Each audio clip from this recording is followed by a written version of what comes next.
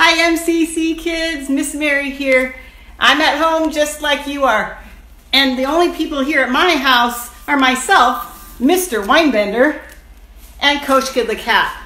She's the only one that had green. We made her wear a hat to say happy St. Patrick's Day. Well, Koska didn't like her hat. But that's okay. You're going to probably see her some more because Pastor Sean has put Jackie and I on an assignment. We're going to be making several video, videos. In fact, we're going to make them every week. Making videos for you will be a fun way for us to stay connected, don't you think? There's a few things you're going to need to know. First, I'm not a lion when I say some of our videos are going to be cheesy. Some will be very, very, very serious. We're going to get into God's Word together. Other ones are just going to be a lot of fun. Miss Jackie and I can't be the only ones having fun. That's where you guys come in. Well, you all know how we usually come to church on a Sunday and we go to our classes and we have a lesson together and we're all learning together. And since we can't do that right now and we don't know how long it's going to be, we are trying to think of some great ways that we can still come together. You can have lessons. And so we've got a couple of plans and the videos are part of that.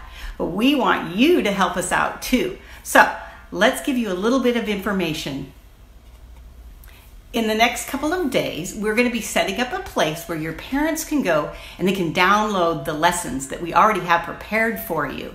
And then together as a family, you're going to get into God's Word and you're going to hear the stories and, and learn about God. And then we're going to ask you guys, you kids, to make videos and make Maybe you'll make crafts or do some projects or show pictures of you and your family worshiping together. We don't know what it'll all look like, but it'll be a fun way for us all to stay connected. And then we'll have a place for those things to be posted and we can talk about them and share them with each other.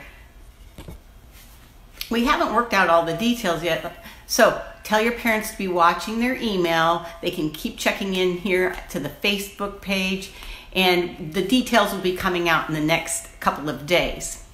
So now I want you guys to know something. Miss Mary does not like to be in front of a camera. This is really awkward for me, but I love you guys so much that I'm willing to do it. It's true. I do not like to be in front of a camera,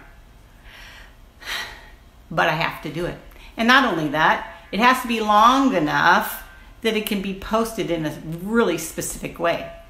So I had to hit three minutes and I'm just getting there now. That's all I have for you guys for now. I love you.